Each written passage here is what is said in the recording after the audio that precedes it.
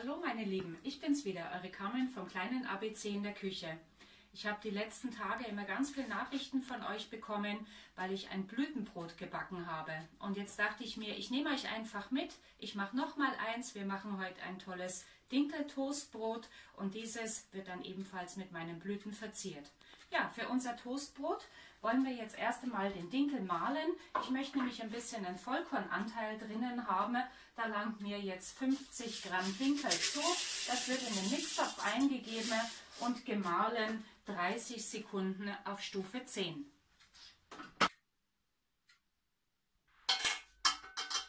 Das gemahlene Dinkelkorn wird umgefüllt. Das brauchen wir erst später. Für unser Toastbrot muss erst einmal ein Hefeteig angesetzt werden. Wir brauchen dafür 250 Gramm Milch. Das geben wir in den Mixtopf rein. So, dazu kommt unser Würfel Hefe. Einmal durchbrechen. Ich verwende immer frische Hefe da dazu. Und dann etwas Zucker, plus eine Prise Zucker, na, komm raus, äh, damit unser Hefestück richtig schön aufgehen tut. So, das Ganze wird eingestellt jetzt im Mixtopf drinnen und zwar hier drei Minuten, immer bei 37 äh, Grad. Das Hefestück darf nicht höher erheizt, erhitzt werden, da sonst die Hefebakterien kaputt gehen. Reglerstufe 1 und das war es auch schon. So, jetzt kommen die restlichen Zutaten rein. Hier noch 400 Gramm Mehl.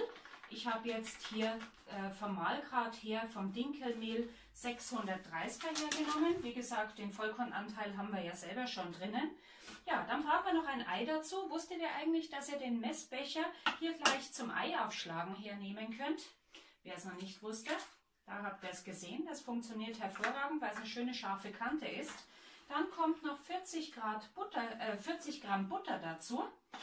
Am besten schon ein bisschen weiche Butter dazu wieder verwenden. Ja, ich mache sehr gern noch eine Prise Zimt mit rein. Ihr werdet dann merken, wirklich bloß eine Prise, das bringt einen wunderbaren Duft im Backofen, wenn euer Toastbrot dann drinnen ist. Und noch einen Teelöffel vom Honig noch mit dazu. Etwas Salz noch, aber nicht zu viel, weil man das Toastbrot ja dann für herzhaft und auch für süß dazu verwenden kann. Das kommt ebenfalls noch mit rein. Ein Teelöffel Salz. Und dann geben wir hier drinnen ein, fünf Minuten die Knetstufe. Ja, das war es dann auch schon da dazu. Bei der Knetstufe wisst ihr ja hier das Ganze drinnen eingeben. Er knetet rechts, er knetet links herum und dann sehen wir uns wieder, wenn der Teig fertig ist. So, jetzt habe ich was vergessen, mein Vollkornmehl. Ja, also deswegen ganz kurz Gerät stoppen. Natürlich müssen meine 50 Gramm Vollkornmehl, was ich vorhin gemahlen habe, auch noch mit rein. Und dann können wir unseren Thermomix wieder anschalten, damit er das Ganze knetet. Übrigens noch zum Vollkornmehl ein Tipp mit dazu. Natürlich könnt ihr auch ein gemahlenes Vollkornmehl kaufen. Malgrad wäre ja dann äh, ganz ein anderer. Aber es ist natürlich sinnvoll, wenn man öfters Getreide malt, dass man das Ganze selber malt. Ihr habt ein frisches Korn gemahlen, ihr habt ganz andere Qualität drin. Vor allem die Getreidekörner sind viel länger haltbar als gemahlenes Mehl, was ihr kauft. Und äh, daher habt ihr auch dann immer die Möglichkeit, selbst wieder frisch zu mahlen. So, das Ganze wieder angestellt und dann wird der Teig geknetet. In der Zwischenzeit, wo der Teig knetet, können wir gleich die Backform einfetten. Oben auf den Rand nicht vergessen, ich verwende zum Einfetten immer mein Backtrennmittel. Das habe ich euch in einem anderen Video zusammengestellt. Der Teig ist fertig geknetet und wird jetzt in eine bemehlte Schüssel umgefüllt und dann mindestens 30 Minuten bei Zimmertemperatur gehen gelassen. Es ist ein sehr schöner, fluffiger, geschmeidiger Teig geworden, wenn wir den rausgenommen haben. Oftmals bleiben natürlich bei diesem Teig auch noch wegen Teigreste mit drinnen. Da braucht ihr nicht mit eurem Spatel hingehen oder mit die Finger. Ich zeige euch einen Trick, wie ihr diese Teigreste hier auch noch rausbekommt. Und zwar tut ihr so einen halben Teelöffel Mehl wieder in den Mixtopf rein. Und dann geht er auf die Turbo-Taste und nur eine Sekunde auf der Turbo-Taste wird das Ganze nach außen geschleudert. Das ist das Ergebnis beim Rausschleudern nach einer Sekunde Turbotaste. Das kann jetzt problemlos noch mit dem Spatel herausgenommen werden, kommt noch in unseren Teig mit rein und dieser, wie schon gesagt, jetzt mindestens eine halbe Stunde gehen lassen. Um den Mixtopf nach dem Teig gleich sauber zu bekommen, gibt es jetzt hier bei der Vorspültaste verschiedene Arten beim Vorspülen zu wählen. Dafür gibt es auch eine Teigvorspültaste. Dafür gibt man einen Liter Wasser in den Mixtopf. Bitte nur einen Tropfen Spülmittel rein. Bitte ja nicht mehr, weil sonst schäumt euch der ganze Spaß nämlich über.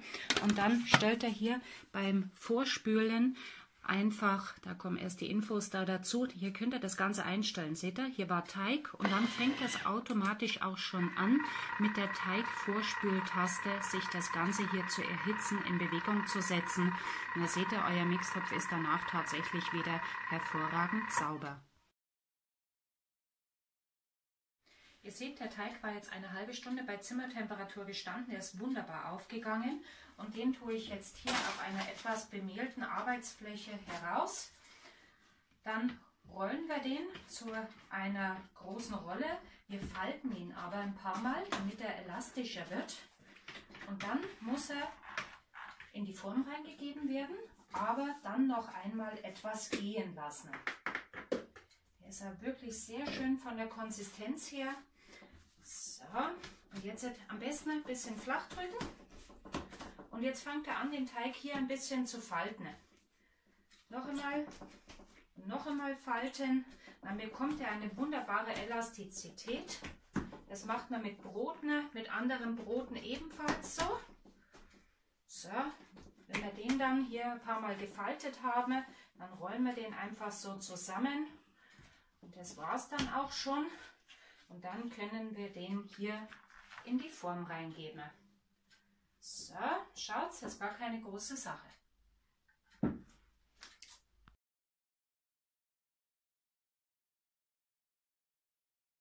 Jetzt kommen wir aber mal zum Wesentlichen fürs Blütenbrot und deswegen nehme ich euch mit in den Garten, denn ich werde immer wieder gefragt, was sind denn das überhaupt für Blumen und die zeige ich euch jetzt unten live. Das schon unsere Blumen, das sind die Cosmea-Blumen. Die gibt es in ganz verschiedenen rosafarben, hell sowie dunkel. So schauen sie aus. Die tue ich jetzt abschneiden und dann werden wir unser Brot damit verzieren.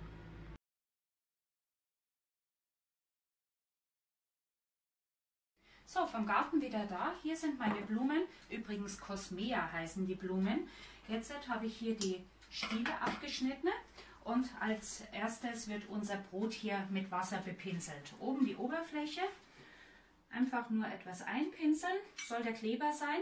Und jetzt tun wir hier unsere Blüten erstmal drauf anrichten.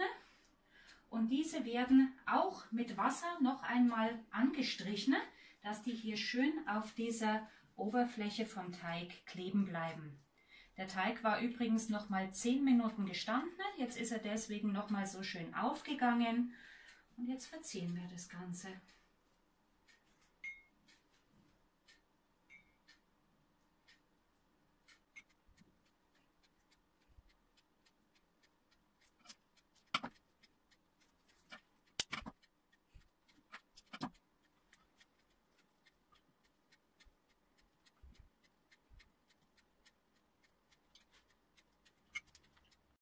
Aufpassen beim Hintupfen der Blüten, dass, wenn es geht, die Blüten wirklich schön fest anlegen, weil sonst verbrennen die nämlich oder bröseln dann so ab, weil die ja sehr vertrocknen dann auf der Oberfläche.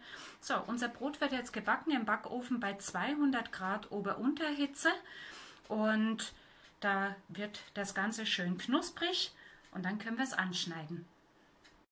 So, unser Brot ist fertig. Das war jetzt 20, 25 Minuten im Backofen drinnen. So, jetzt stürzen wir das mal hier raus. Ihr seht, die dunklen Blüten haben ihre Farbe gleich noch am besten behalten. Die anderen sind etwas heller geworden und hier sieht man es auch sehr schön. Diese Blüten, die wo hier nicht anständig anliegen, wenn man es mit Wasser bestreicht, wenn ich jetzt mit dem Finger hingehe, die brechen nämlich dann ab und die anderen sind richtig schön hingeklebt. Aber das macht nichts. Ich finde das Blütenbrot wunderschön. Ja, und ich hoffe, ich hoffe, ich konnte euch jetzt hier etwas Neues zeigen, konnte euch neugierig machen. Vielleicht habt auch ihr mal Lust, mit Blüten zu backen. Ich wünsche euch ganz viel Spaß beim Nachbacken. Also Cosmea heißt die Blüte, die wo ich hier drauf habe, aber es gibt im Garten noch ganz viele andere Blüten, die wo ihr zum Backen oder auch zum Kochen verwenden könnt. Also bitte immer alles essbare Blumen und ja, bis zum nächsten Mal. Die eure Carmen vom kleinen ABC in der Küche.